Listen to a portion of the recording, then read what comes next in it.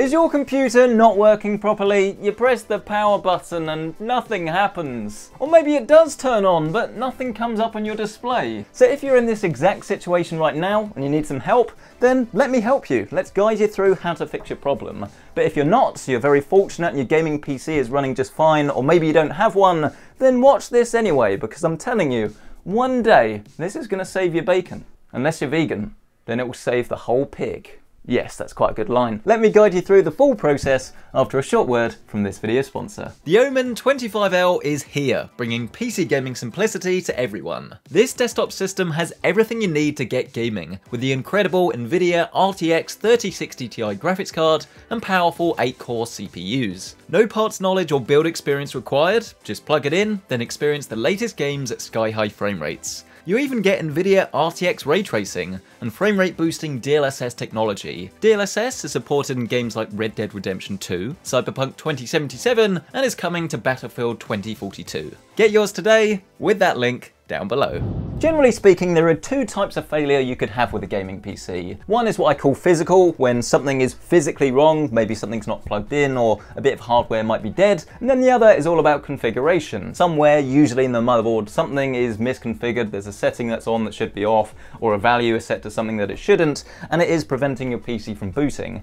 Both of them are very annoying, they're both quite common, but again, fairly easy to fix. Almost certainly the most common reason that your PC won't turn on is because you haven't plugged everything in properly. I do this all of the time. It can be as simple as just flicking the switch from off to on. Maybe your power cord isn't plugged in at either end, or it is actually something inside the PC. Pretty much treat it like you've plugged nothing in at all and just go through one by one and just double check all of the connections are actually plugged in. You need to have an ATX connector and then a CPU up here. If you're using a graphics card, you've got to make sure this is plugged in as well. And if you are using a modular power supply, then you've got to make sure you have actually plugged the ends in here as well. And what can happen is that when you're doing all of your cable management, you end up pulling on a cable and it slightly comes out. So you think you've plugged it in, you're very sure because you have, but it has actually come loose during the installation. So just make sure all of your connections are safe and secure. Probably the second most common issue is this.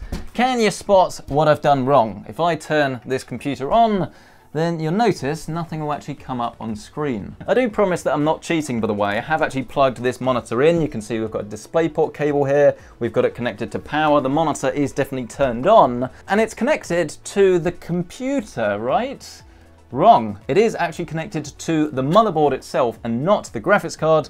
And once we plug this in, you should see that our PC then does actually light up. A really subtle difference, but a really important one. The problem that I had with my first ever gaming PC was actually this, that I pressed the power button and nothing happened. In today's money, well, you can see it's even more confusing because you do actually have some RGB lighting, which is even more confusing because it should work but it doesn't, so what's going on? Well, in this instance, it's actually caused by these tiny little cables down here at the bottom. You have your power and reset switch that does actually make the front panel of your case work. And what I did was to plug in the power LEDs into power switch. So I plugged it in, but I'd done it wrong. Those two very similar things that sound almost the same are definitely not. One does the lights, one actually does the power button. Do check your motherboard manual to actually make sure you have plugged it in the right one. Press the button, and then you should see that it does actually turn on. There was a bit of a dramatic delay there, wasn't it? But here we go. Which then leads us on to the inspiration for this video. This was exactly how my PC did actually boot up, or not boot up when I built it. We have this little red light down the bottom, and pretty much most motherboards will have these. These are your debug LEDs, and if you look very closely, they do actually tell you what the lights mean. The way that the motherboard works when you press that power button is to essentially cycle things up in terms. So it starts with the CPU, then it moves on to the RAM, then it just initializes everything in order. The issue for me is that the DRAM LED stayed red and wouldn't turn off. So we know that there is some sort of problem with the RAM. So if this happens to you and you've got a DRAM issue, turn the power supply off so you're not going to electrocute yourself. Then remove all of your RAM. Even if you know it's in properly, just take both of the sticks out for a second, give it a bit of a once over, make sure that there's nothing physically wrong with it, then just grab one stick and put it back in DIMM number two. Ensure that it is pushed in as far as it will go and that you do actually have it the right way round. But then importantly, don't put this stick in because what we're trying to do here is work out whether the problem is with the motherboard or with the RAM itself. And by using one stick, it makes it a lot easier to actually work out what the problem is. Because I've had a couple of issues before where motherboards, you have one of the slots on the board doesn't actually work properly, or maybe one of the sticks of RAM is dead. It's uncommon, but I mean, at this stage, it could be anything, right? Is it the board or is it the RAM? Unfortunately, it seems that that hasn't fixed the issue either. So the problem may not be the slots, it could be the stick of RAM itself. So now if we take this one out and then replace it with the other one, we then know that if this works, we do have a dead stick of RAM here. This hasn't helped either. We still have that red DRAM light. So what we could do is use every slot and every stick, and that would sort of rule out whether there was a problem with any of the sticks or any of the channels. But you'll see that our PC has miraculously started working. And this is because if you do leave it for a good five minutes or so, it actually does a few things internally to try and fix the issue. Because the problem here was actually that the memory was trying to run too fast for the motherboard. The motherboard itself was actually trying to run the XMP profile on the RAM, and because it wasn't able to work properly, it kept boot cycling and boot cycling, but it was getting stuck every time on the RAM. In my instance though, you can see we are actually still stuck at this ASRock screen, so something does still need to be reset. What we will do is actually turn the whole computer off. And then we're going to reset the motherboard's onboard memory so that it loads its default values. Higher end motherboards, you probably have like a little button or something at the back or maybe on the board itself They'll say reset CMOS. But if you don't have that luxury, then you will have to grab a little screwdriver, something like this, look in your motherboard manual and find where it says clear CMOS. It's going to seem a little bit daunting if you haven't done this before because we're going to have to jump some pins. But you want to make sure that your PC is completely off, it's not plugged into power and it is off of the power supply. Then you find these little pins that for me are down the bottom of the motherboard and we connect these together with the screwdriver for 5 to 10 seconds and then we can turn the PC on again.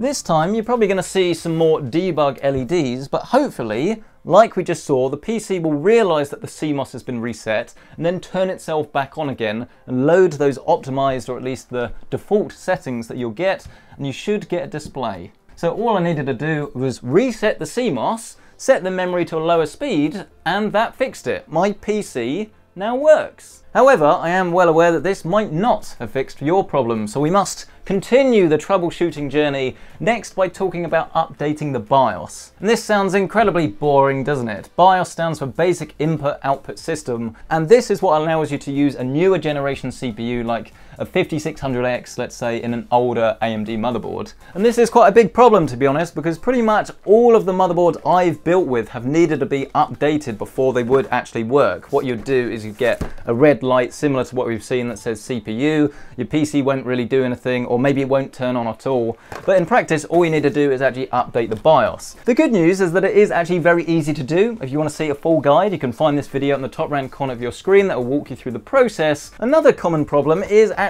with these things.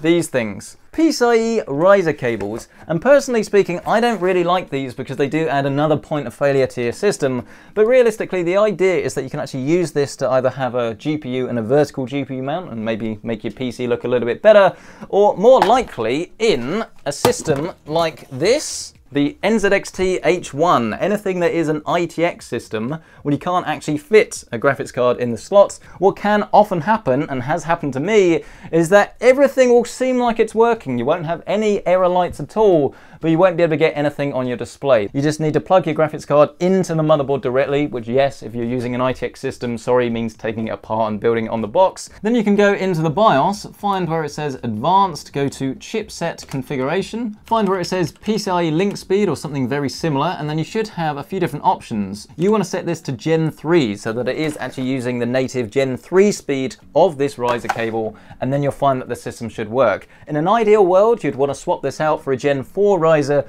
but for now, that should fix your issue. Sorry if it's starting to sound complicated, but ultimately it sort of is. I've had an issue once before where the front panel on the case didn't work, but everything else did. So the PC wasn't able to turn on. If you want to verify that that's not the problem, then you can unplug the power switch. Then you can use the same jumping method to connect these two pins.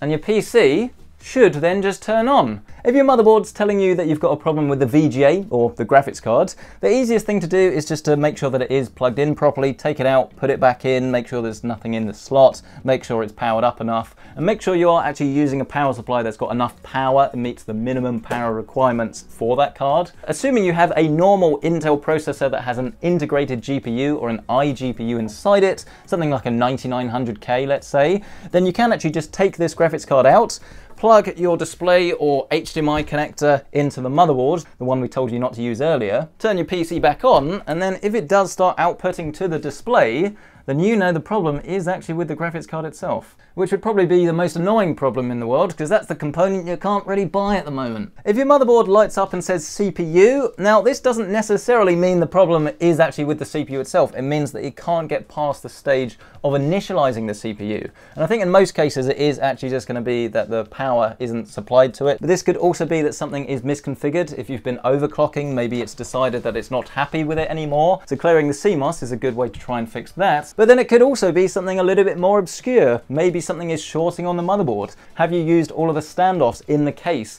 Is the motherboard actually screwed in properly? Or maybe is a bit of the motherboard touching the case and that's what's causing the problem? I received a phone call only a few weeks ago from my cameraman Gareth, who has actually built quite a few PCs in his time. Turns out what he had done is not plugged in the CPU cooler power cable. So everything was working for a few seconds, but then the CPU was hitting 100 degrees and then the whole PC was turning off. In a way, it's almost better to have less experience with computers because you start to think that you haven't done anything wrong, it must be something within the system. But in actual fact, if you do just go through every single thing methodically, you take things out, you put them back, chances are you will be able to fix your problem. If this video has been helpful, then please smash the like button and get yourself subscribed. But if you've had an issue like this yourself, then what was it and how did you fix it? And if this video hasn't fixed your problem, then let us know what it is. I'm sure one of us, either myself or one of the amazing people in the PC-centric community, will be able to help you out. Thank you so much for watching. The full parts for this is listed down in the description below.